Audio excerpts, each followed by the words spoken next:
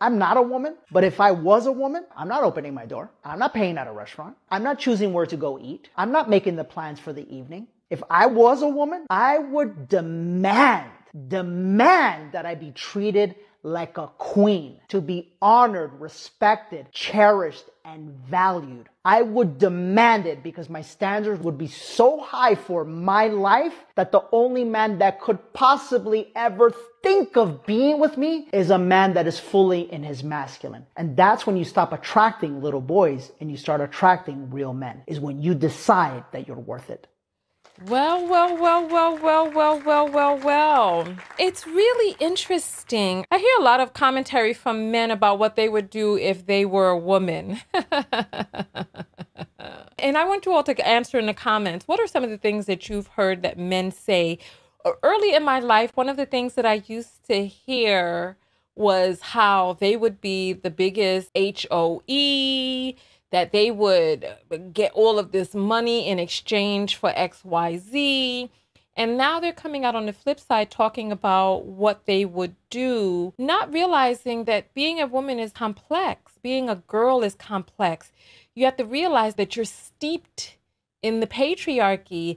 It's like saying, if I was hot water and there was a tea bag inside of me, I would never become tea. But when you're steeped in the patriarchy, you are steeped in the men's words are more powerful than ours. What a man says goes. A man's yes supersedes a woman's no. You're steeped in a man's life is more valuable than yours. What else? Remember that whole thing with blue balls and how you had to be put under all of this pressure because for even just a, a moment of his discomfort was just too much for him to bear. There's so many different things that you're taught as a girl, and one of those things is really catering to a man, putting his needs before yours, putting children's needs before yours, that you are really just a secondhand person. You start getting this indoctrination. We showed you the video about the ways that even babies are indoctrinated played with differently and different skills cultivated. So it's honorable for him to talk about what it is that he would do if he were a woman. And listen, I want women to be treated well as well. We continue to talk about what it is that women need to do. I hear all of these psychologists and professors coming out talking about the changes women need to make in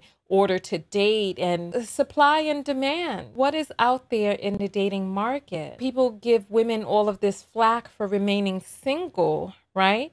But what is out there and available for her to date? When we start talking about demand for these doors to be opened and all of this stuff and standards so high, and then who it is that you're going to attract, the society that we're raised in have to be cultivating enough male persons to be able to meet the demand of the women who have these high standards, right?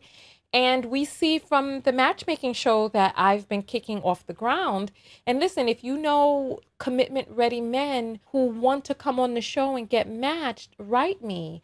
TonyaTKO.com, click on contact and send a message through. I'm a certified matchmaker. And one of the first things that I learned after getting certified is the attitude that men have about being matched, about getting help, about being assisted, rather than just going out there Harry Carolly and just being guided by the pointer of his penis, right? And so, yeah, you know, supply demand. I don't know. I want to hear your thoughts about his statement and what is available out there. People act like women are not looking for decent men and are coming up short. Like some people have criticized my matchmaking show and I'm like, all across the industry, even on TV, the biggest and most popular shows, they have difficulty getting men to match with Black women because the vast majority of Black women want Black men.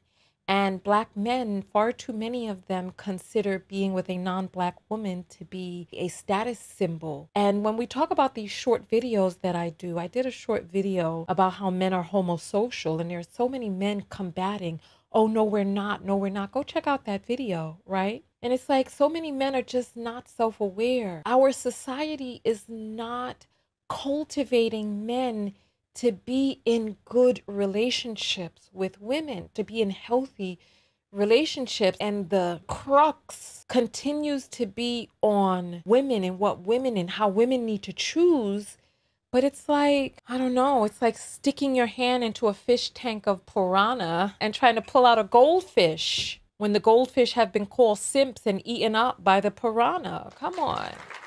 Come on. Be a part of the live show with thousands of other viewers. Go to TonyaTKO.com forward slash text and join the text notification squad and get a text whenever I go live. Support the show and yourself, and I'll see you on the next live broadcast.